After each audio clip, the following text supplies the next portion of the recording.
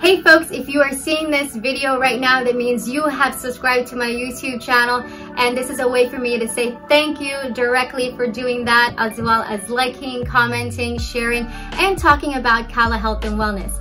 Today is a very important day because it marks the 26th video for 26 straight weeks and that brings me closer to my goal of one video a week for the next two years. I want to say special thanks to my family and friends from New York and Dallas for being so supportive and my clients and new folks who are coming into the fold for taking a chance on me as a health coach here on YouTube. And um, just to show my appreciation for that, I wrote a little note on this sticky note right here to say thank you.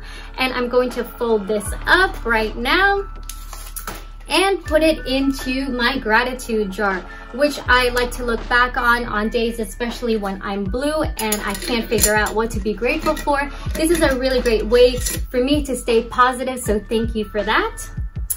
Um, if I haven't thanked you directly, it's because I don't know that you have subscribed because YouTube has a default setting to keep your subscriptions private. If you'd like to know how to change that, um, stick around for later on this video so I can show you how to do that. Otherwise, you can go ahead and just say hello to me in the comments below. And also, if you have any ideas or topics you want me to explore, please put that in the comments as well, and I will do my best to incorporate it in the channel. All right, so that's about it. Thanks again for your support. I really, really appreciate y'all. Um, stick around for that um, tutorial. If, uh, if you're not gonna stick around, that's all good. Just remember, you deserve to be happy and healthy. All right, for the folks who are still here, let's go ahead and get into that tutorial. Right, once you're signed on to your YouTube channel, go ahead and find your icon on the top right hand corner. Click on that and you'll see a menu, find settings, click on that.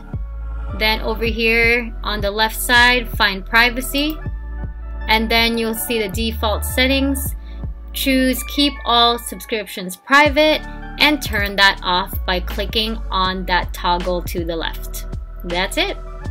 I hope y'all found that walkthrough helpful. Um, but if you have any other questions, put it in the comments below. Otherwise, I will see you guys next Wednesday for a new episode.